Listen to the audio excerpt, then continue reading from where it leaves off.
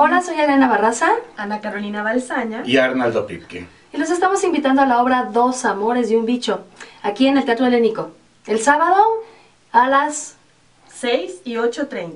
Sí. Vengan. 18.30 y 20 horas, ¿no? Teatro Helénico. No, 6 y 8.30. Teatro helénico.